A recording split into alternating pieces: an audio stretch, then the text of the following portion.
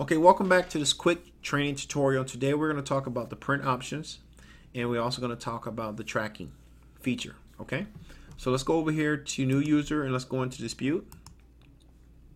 And basically with the print option, it allows you to do single prints from these uh, printers here or you can do bulk print. So if you over in the credit bureau area and you select single print, then when you come over to print options, you would only be able to print from these credit bureaus.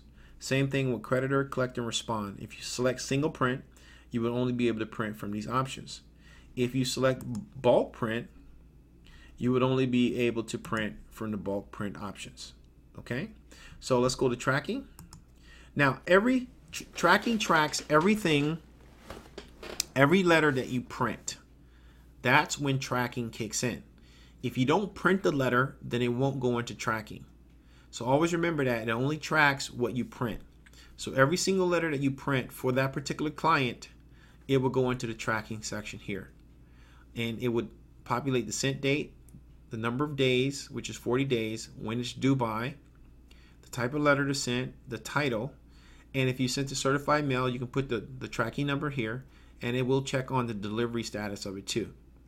You can also delete all of the letters by selecting delete, okay?